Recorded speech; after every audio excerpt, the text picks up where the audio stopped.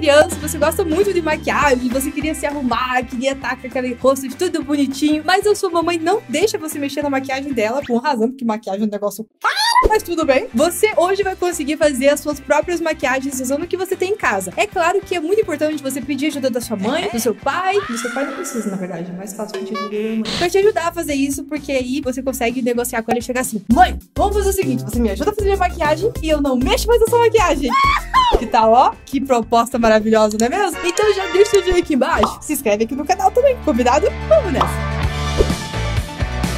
Fazer maquiagem sem espelho não dá, não. Isso também faz parte de um kit de maquiagem, que é como você fazer um espelho assim, ó, personalizado seu. E eu estou usando ali, ó, um espelhinho quebrado mesmo de uma paleta de maquiagem que eu tinha que caiu no chão e quebrou. Aí eu pensei, cara, vamos melhorar isso daí. Vamos fazer o nosso próprio espelho maravilhoso de princesinha, espelho de sereiazinha, aqueles bem bonitinhos. E é bem fácil. Eu peguei dois pedaços de papelão e aí eu fiz duas medidas assim, ó, sobrando uma borda pra cima do meu espaço de papelão. E um dos espaços eu deixei ele inteirinho assim, e o outro eu coloquei o espelho em cima, desenhei do lado e eu cortei um quadradinho no meio dele. Só que na hora de cortar o quadradinho no meio dele, eu não usei a referência que eu contornei ali, ó, marcando o meu espelho. Na verdade, eu cortei um milímetrozinho ali, ó, pra dentro. Porque a ideia é que ele não fique assim pra fora do espelho, né? Que ele invada a parte de dentro do espelho. Vocês entenderam, né? E aí, é bem simples essa parte. Tendo esse papel, você já tem praticamente o espelho pronto. Então eu vou encaixar a parte que não tem a janelinha. Vou grudar o espelho com cola quente ali em cima. Depois eu vou colocar três palitinhos de sorvete pra ele ficar bem firme. Se você achar que precisa de mais, você pode colocar mais também. E aí eu vou pegar o papelão que tem a janelinha e vou colocar ali na parte de cima. Pronto, você já tem um espelho. Mas agora a gente tem que deixar ele bonitinho, de princesinha e de sereinha, como a gente combinou, né? Então, agora eu vou pegar esses EVAs bonitinhos, verdinhos aí, ó, que tem esse glitter. E eu vou fazer a mesma coisa. Cortei quadradinhos, seguindo o tamanho do quadradinho de papelão que eu tinha feito. Um quadradinho eu deixei inteiro e o outro quadradinho eu fiz uma janelinha. E agora eu faço de novo a mesma coisa. Eu passo cola quente ali, grudo meu espelhinho de papelão ali em cima. Depois eu passo cola quente ali, ó, na parte de cima. Grudo o EVA ali também bonitinho. E eu grudo a parte de volta, dando um acabamento. Se você quiser depois para deixar certinho, passar com a tesoura ali na lateral e deixar tudo bem quadradinho e bem bonitinho, você pode também. Quanto mais cuidado você tiver para fazer esse espelho, mais atenção você tiver, mais bonito e melhor vai ficar. Agora eu vou mostrar para vocês como fazer umas florzinhas de EVA também. Tô usando um EVA cor de rosa. E aí eu vou começar com um palitinho mesmo, porque não precisa usar caneta, porque qualquer coisa que você coloque ele já vai marcar mesmo esse tecido. Eu vou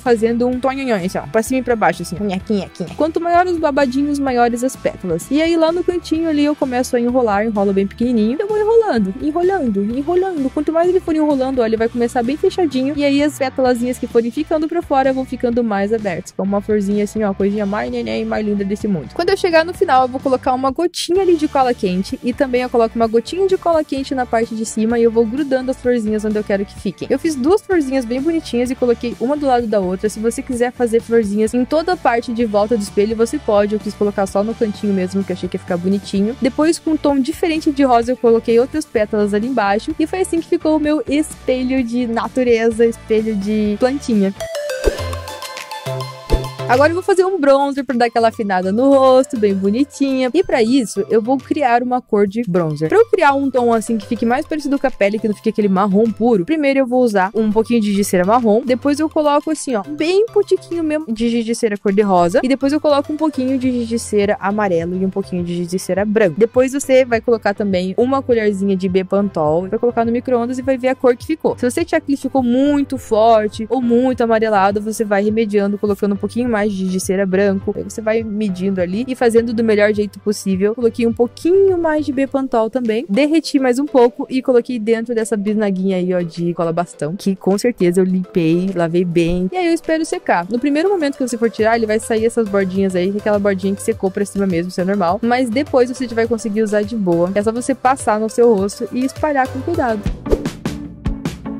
Outra coisa que é muito importante de ter, porque nos outros kits de maquiagem que eu mostrei aqui, eu ensinei muito vocês a fazerem maquiagem, etc. Mas também não adianta nada você fazer um monte de maquiagem aqui que eu ensino no kit de maquiagem, você não tem onde guardar ela. Por isso eu vou mostrar pra você como fazer a melhor necessaire desse mundo. E pra isso eu vou desenhar um coração. Eu dobro o papel no meio e aí eu faço só metadinha do coração. Assim, na hora que eu cortar e abrir o papel, ele vai ficar certinho dos dois lados. Agora eu vou pegar esse molde do papel que eu fiz e vou colocar em cima do tecido da cor que eu quero que seja a minha necessaire. Eu tô pegando esse azul, que na verdade é um verde Tiffany maravilhoso. Vocês estão vendo que o tecido tá dobrado, porque na hora que eu cortar, tem as duas partes do coração, tanto a parte da frente quanto a parte de trás, do mesmo tamanho, igualzinho. Isso é importantíssimo pra dar certo. Agora, eu vou pegar o zíper, tá vendo? O zíper normal ali, zíper bonitinho. Eu vou pegar a parte que você segura o fechinho pra abrir e fechar e vou virar pra baixo. E aí eu vou com cola quente colar com cuidado pra deixar tudo bem certinho, tanto a parte de baixo quanto a parte de cima. Presta atenção nessa hora, porque se você colar torto, vai ser difícil de você encaixar o coração certinho depois. Grudei o zíper, botei o excesso dele pra dentro e agora eu termino de fechar toda a minha necessaire. Vou passando cola quente ali na lateral e vou fechando com cuidado, tá? Volta e meia eu me queimo com cola quente. Olha que eu já sou muito acostumada a usar isso. Então, por favor, tomem cuidado. E se você não tem habilidade, ou se você é muito pequenininho, pede ajuda da mãe, ela vai te ajudar. Ou o pai, ou a tia, ou a avó, ou qualquer adulto que esteja aí, que seja muito gente boa, seja muito parceiro e você goste muito dele, ele vai fazer isso por você, tá bom? Pra dar um efeito não ficar tudo de uma cor só, eu cortei um outro coração um pouquinho menor de outra cor, que eu peguei esse rosa aí. E aí eu peguei esses stencils, sabe? Esse que a gente compra pra fazer trabalho da escola. Pelo menos eu comprava na minha época, né? Não sei se vocês compram isso ainda, mas tudo bem, não quero, vamos entregar a idade aqui não. Se vocês não tiverem, vocês podem tranquilamente pegar uma folha sulfite e imprimir da internet, depois vocês recortam o nomezinho, ou vocês podem escrever à mão o nome de vocês também. Meu último M não deu lá muito certo, mas tudo bem, espero que vocês tenham mais sorte. Deu uma borradinha ali também, coisinha boba. Daí eu fiz um coraçãozinho, né? Porque a gente não chora, a gente conserta, né? Na verdade, é só você esperar a tinta secar e tá pronta a sua é só você enfiar toda a sua maquiagem lá dentro. O legal é que você pode usar esse mesmo tecido e fazer vários tamanhos de necessaire, porque se você vê que você muita maquiagem, meu Deus do céu, aí você pode fazer mais necessaires maiores e menores e etc.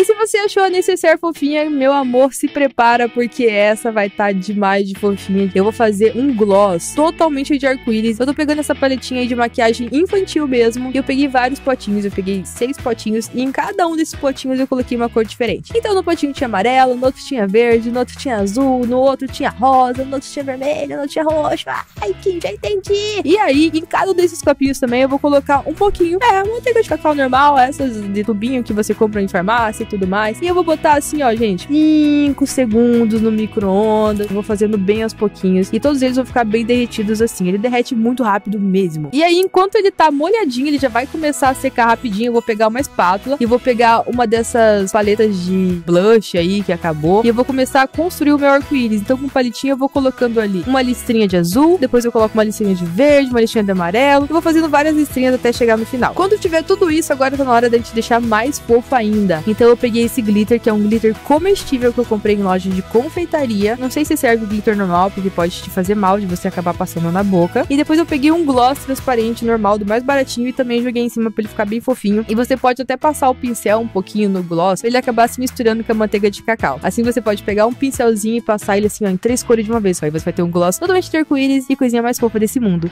Que tal?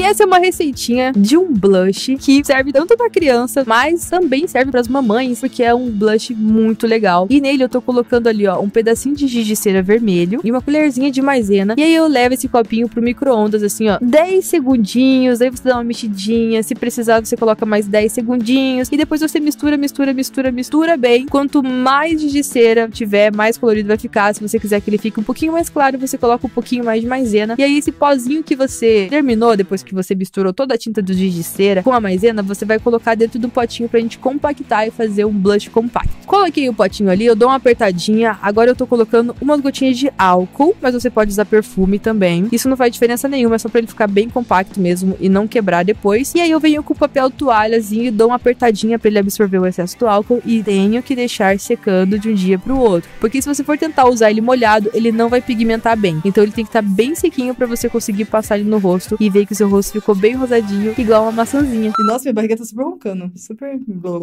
Tchau!